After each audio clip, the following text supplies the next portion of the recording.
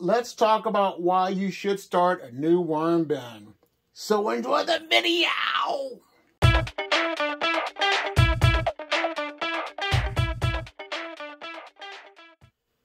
Well, why you should start a new worm bin? If you're experiencing pests in your worm bins, you want to start a new worm bin. Get the all the bad stuff out and just start all over.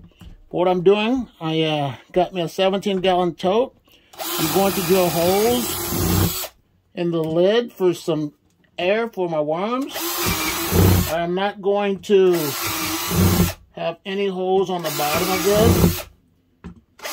And this bin is just going to be for strictly junk mail and a little bit of newspaper.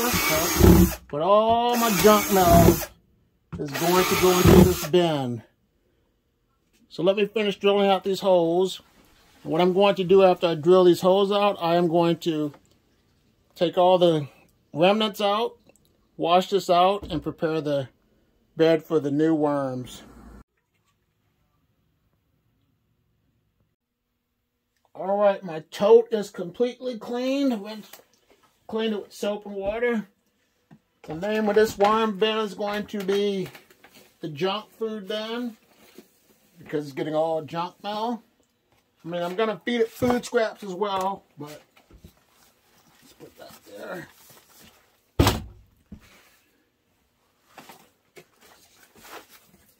go. Put that in there like that. And the worms that I'm taking out of commission will be the worms in the worm bucket because I need all the room I can get with my worms. So I will no longer be using this worm bucket right here.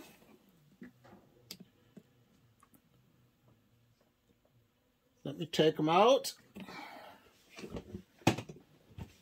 I will not be shredding any of this paper. It's going to go in as is. Let me go ahead and some, some grit. add some grit on now.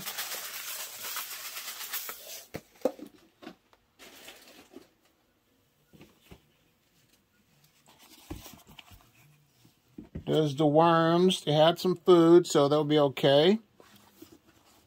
And all of the food scraps are going to go in just like this. They have plenty of room to, to move around. So this will definitely have nothing but, like I said, my uh, junk mail going in there. Not the glossy stuff full sheets of paper like that. The worms be happy. The worm bucket will be out of commission. I will use that just to show people if they're interested what it looks like and how to use it. Well, that's about it for now. That's the reason why you should start a worm bin. And while you're at it, you might as well watch this next video about worms. Like the video, subscribe to my channel if you like what you're hearing from me. Have a great day. Bye.